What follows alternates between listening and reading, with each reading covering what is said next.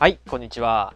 えー皆さん、カセットテープにいい音で録音するために欠かせない準備といえば何でしょう？まあ、動画タイトルでもうバレてますけども、えーキャリブレーションです。今回はね、ちょっとキャリブレーションについてね、お話ししていきたいなと思います。まあ、キャリブレーションといったらあれですよね。このね、この三角印に、あの、合わせるようにね、レベルとバイアスをこう、調整するやつですよね。あの、カセットデッキにはまり出すとね、一度は使ってみたくなる機能じゃないかなと思います。で、今回紹介するのはね、ちょっと、あの、素人お断りのキャリブレーションです。まあ、素人お断りという言葉はね、やっぱ似合うのは中道かなと思いますけど、実はティアックにもいます。それでは早速見ていきましょう。さあ、今回の主役はこちら。えティアックの Z5000。えー1982年製で、えー型番に Z がつく、えーカセットデッキの中では最上級のシリーズですね。もうね、ごっついの一言につきます。まあ、これこそがね、ティアックの象徴じゃないかなと思います。えーノイズリダクションは、えードルビーの B タイプ、C タイプ、えーさらに DBX と、え3種類搭載されています。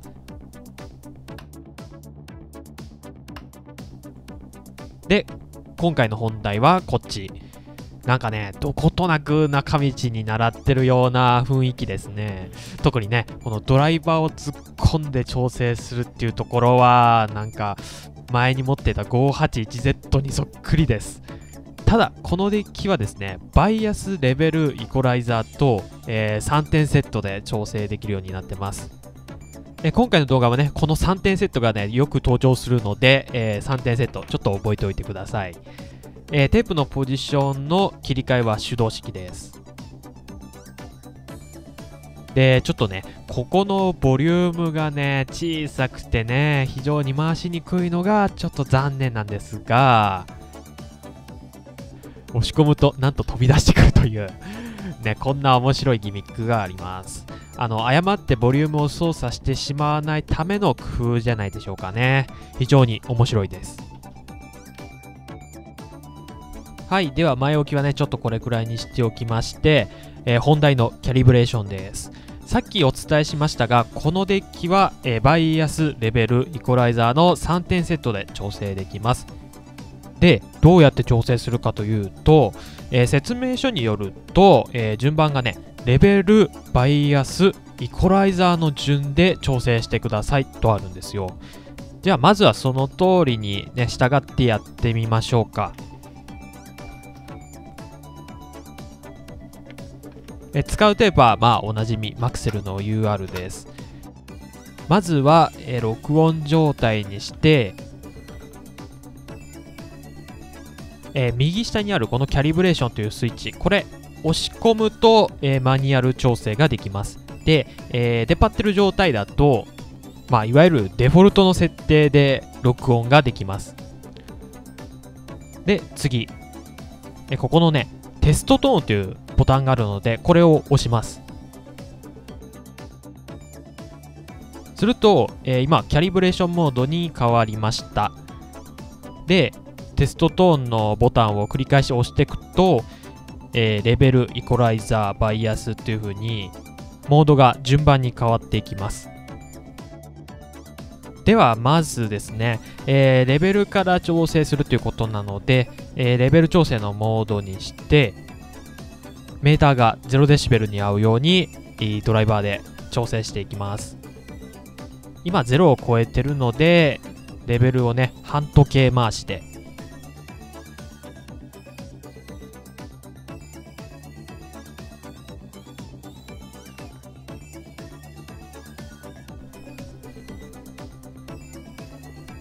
んな感じですね。はいじゃあ次行きましょう。バイアスです。またテスト等のボタンを押して、えーバイアスモードに切り替えます。またね同じように0に合わせるんですが、えーバイアスのこの回し方がね、えー普通のデッキと逆です、えー時計回りでバイアスが少なくなります。えーなので今メーターが0を超えてるのでバイアスを多くしなきゃいけないですね。つまり半時計回し。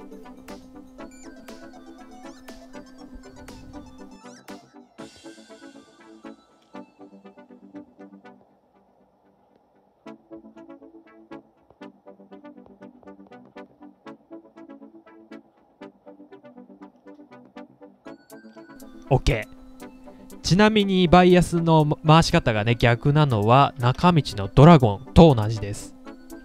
はい3つ目イコライザーです。イコライザーはほぼ合ってますね。まあちょこっとだけ調整しましょう。え回し方はレベルと同じです、えー、時計回しで大きくなる。半時計回しで小さくなるです。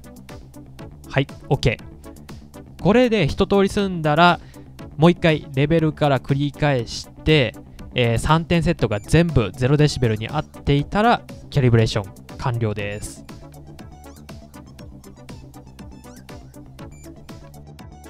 OK ですね。ではちょっとなんか適当な曲を録音してみましょう。えー、ノイズリダクションはですね、オフ、B、C、DBX と切り替えながら録音していきたいと思います。それでは行ってみましょう。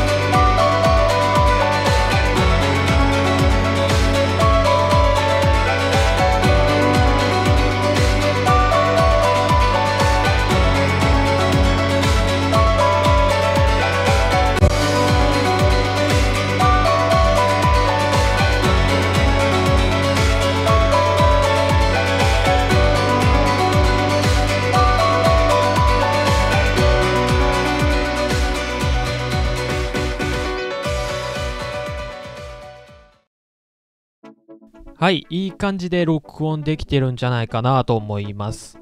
ではね、周波数特性もね、きっと気になると思うので、えー、チェックしてみましょう。こんな感じになります。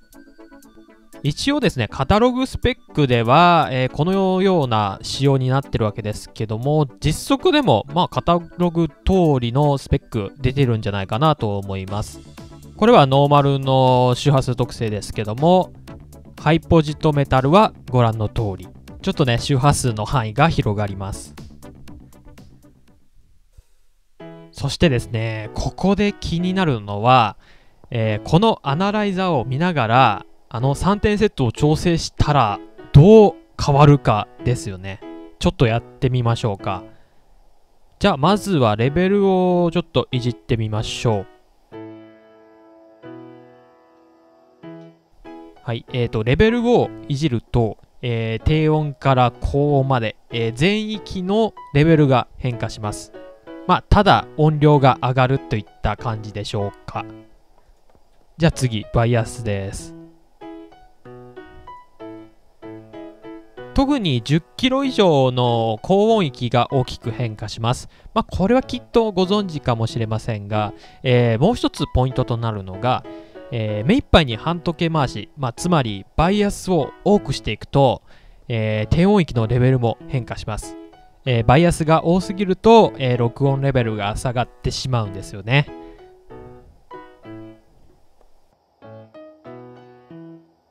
じゃあ最後、イコライザーはどうでしょうか？なんかね、バイアスと同じような変わり方をしてるように見えますが、えー、ちょっとですね、この辺に注目していただきたいんですけど、えー、いわゆる中音域なんですが、えー、この辺りの周波数も変化するのが、えー、イコライザー調整の特徴です。まあの、バイアス調整と比較してみると分かりやすいかなと思います。はい、前半はキャリブレーションのなんか動画マニュアルみたいな感じになりましたが、まあ、これはこれで有益だと思います。なかなか操作が難しいデッキだとね、えー、説明書の文章だけではね、理解しきれないところもあるでしょうからね。ほんとね、動画で説明できるって、ほんと便利な時代になりました。さて、後半はですね、もう少し実践的なことをやってみたいと思います。えー、引き続きお楽しみくださいまし。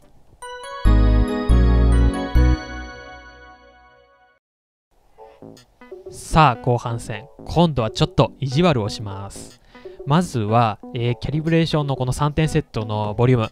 全部目いっぱい左に回します。いわば調整を完全に狂わせた状態ですね。なんかねこう変に調整をいじっちゃって、えー、もう訳わからなくなった時のことをちょっと想定してみましょう。はいじゃあこんな状態からスタートします。ではねまずはレベルから合わせます。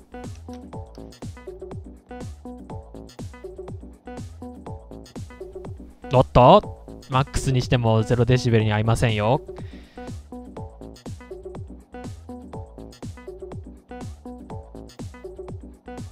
うんまあとりあえず次進みましょう。バイアスです。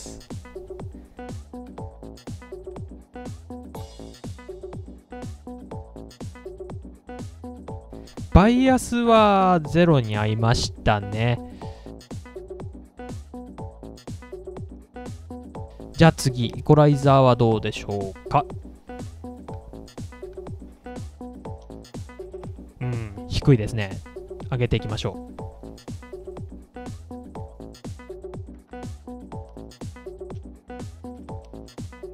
う。では、もう一度レベルから繰り返します。あららららら。知らぬ間にメーターがレッドゾーンまで行きました。高すぎるので、えー、下げましょう。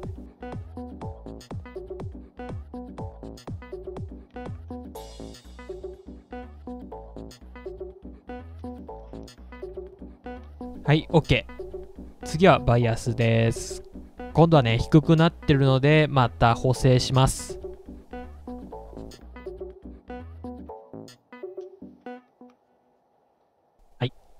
次、イコライザー。イコライザーは、まあちょっと補正するくらいで良さそうですね。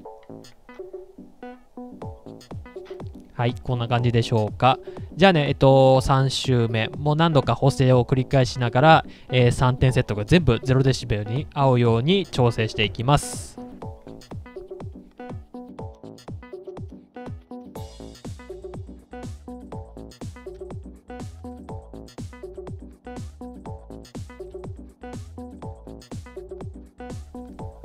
こんなもんでいいでしょう。ではね、調整がちゃんとできてるか、えー、録音してチェックしてみましょう。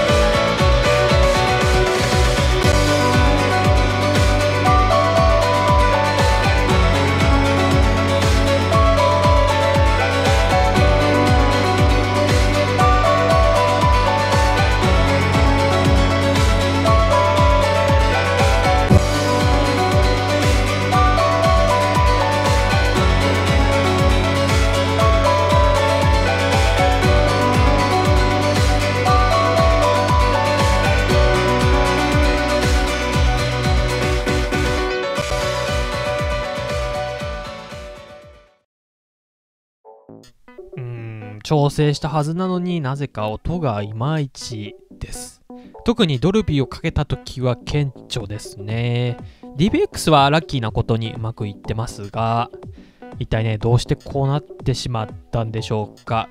ちょっとね、恐る恐る周波数特性を見てみましょう。なんということでしょう。えー、前半で見た時と全然グラフの形が違っています。もうね、フラットな特性ではなくなってますね。えこういった形のグラフは、イコライザー強すぎ、バイアス多すぎの設定で見られる特性です。まあ、例としては、特に40年以上前のデッキで、えー、バブル期の高性能テープを使おうとするとよく見られますね。えー、そのままだと高音域が強く出すぎてしまうので、えー、バイアスを多くして補正しようとするわけですがそうするとね音の透明感が消えてなんかねもっさりとした感じになります。はい。残念ながらねこれは調整がうまくいっていない例です。じゃあうまく調整するにはどうしたらよいか。このデッキを参考にします。はい。1000ZXL です。いや、そもそも調整は全自動なのにどうやって参考にするんだっていう話なんですが、まあまあ、あの、実演しながらお話ししていきます。一旦調整を全部シャッフルしますね。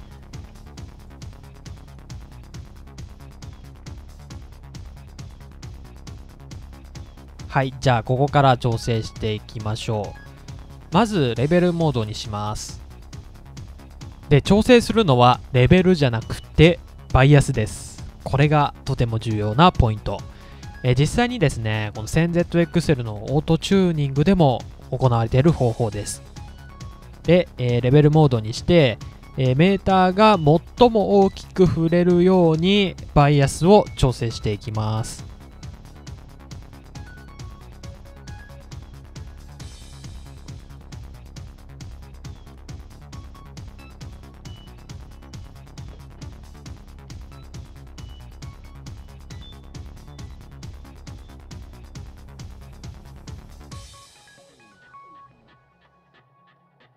だいたいこれぐらいでしょう。まあ一発では調整できないので、えー、何回かに分けます。で、えー、そのまま続いてレベルの調整に行きます。レベルは 0dB に合うように。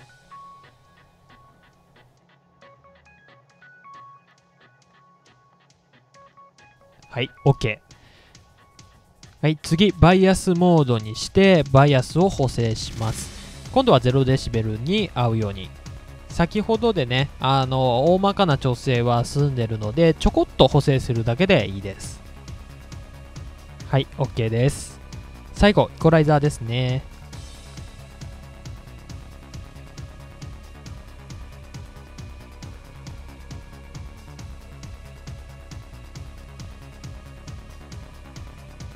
はい、OK。これで3点セットが全部 0dB になってるかチェックです。